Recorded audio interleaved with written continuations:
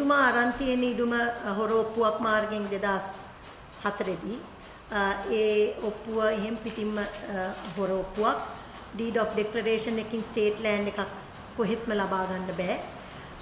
ඒකට මුදලුත් තරම් තියනවා බර්ටි පෙරේරා කියලා කෙනෙක්ගෙන්. බර්ටි පෙරේරාට ඊටම අයිති නෑ.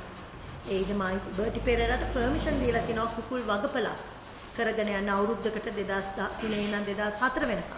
ඒතර ප්‍රසන්න රණතුංග ඇමතිතුමා මේ ඊටම ගන්නකොට එයාට මාස 4ක කාලයක් තමයි මේ කුකුල් වගපලට ව්‍යාපාරය කරන්න ඒ වළංගු ડોකියුමන්ට් එක. මේක තමයි ඒ ડોකියුමන්ට් එක. Department of Agrarian Services Development එකෙන් දීලා තියෙන්නේ. මේක ඒ අනිවාර්යෙන් කොන්දේසි මත තමයි එයා මේ මේ මේ ක්‍රියාත්මක කරන්න ඕනේ. ඒ කොන්දේසි වල කිසිම විදියක ගොඩනැගිලි හදන්න බෑ. එයා ගොඩනැගිලි 2007 එතකොට 2013 තමයි එයා ගෙදර හදන්න ගත්තේ. 2013 ඉඳන් 14 වෙනකම්. 2017 දැන් මමත් මේවට ප්‍රශ්න අදිනවනේ. අදිනින්ද එයා දැනගත්තා මේකට ගොඩනැගිලි අප්‍රූවල් එකක් ගන්න වෙනවා කියලා. ඊට පස්සේ එයා මොකද කරන්නේ 2017 ගිහිල්ලා තවත් fraudulent මේක එතුමාමයි අප්ලෝඩ් කරේ මගේ Facebook එකේ එයාගේ කවුරු හරි මිනිස්සෙකුට කියලා එයාට හිතවත් මිනිස්සෙකුට කියලා මේක තවත් fraudulent document එකක් මේකට පාවිච්චි කරලා තියෙන reference number එක අර expired document එක. ඉතින් expired document එකක් අනුව I mean මේ building approval එකක් ගන්න බෑනේ. ඉතින් ඒක එහෙම් පිටින්ම fraud. ඔය ඒ වගේම දැන් දැන් මේ මේ පක්ෂ සම්බන්ධයෙන් ඇමතුමාගෙන් විමසීමක් කරලා තියෙනවා.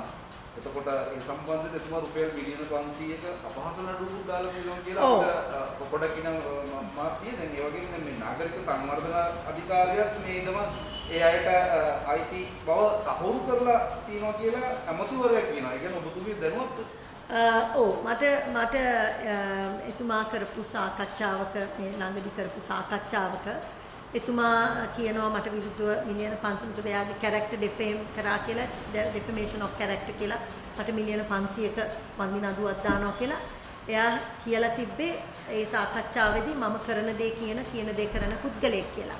කරන දේ කියන කියන දේ කරන පුද්ගලයෙක් නම් දැනටත් දැන් ඒ ලියුම 21 වෙනිදා දෙසැම්බර් 21 තමයි ඩේට් කරලා තියෙන්නේ. දැන් මාසෙකට වැඩි.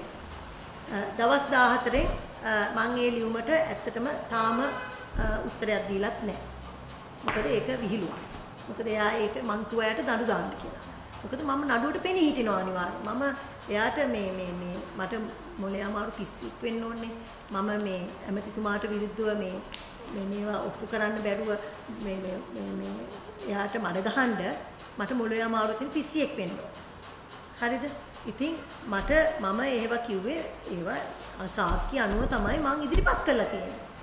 ඉතින් එයාට කොහේ මොහොතකවත් කියන්න බෑ මේව fraudulent කියලා. එයා ඉතින් ජනතාව රවට්ටගෙන ඉන්න විදියට රවට්ටනවා ඇති මේවා කියලා. එයා බොරු බොරුවෙන් ජීවත් වෙන පුද්ගලයෙක්නේ. ඉතින් මම කියන්නේ දැන් 500 නඩුව තාම දාලා මිලියන 500 නඩුව දාලා නැත්තේ. දාලා නම් මට නඩු අංකය දෙන්න මම පෙනී හිටිනවා. මං එහෙම මේ එයාට බිලියන එකට මං එයාගේ වන්දි මුදලක් කිව්වා. මොකද මට කරලා තියෙන අසාධාරණ වලට මම බිලියන එකක්. ඒ එතුමාගෙන් විතර නෙවෙයි මම මේ ආයතන සියලුම ආයතනට විරුද්ධව නඩු දාලා මං වන්දියක් ඉල්ලනවා. අනිවාර්යයෙන් මං ඉල්ලනවා මම ඒ වෙනුවෙන් තමයි දැන් කටයුතු කරගෙන යන්නේ.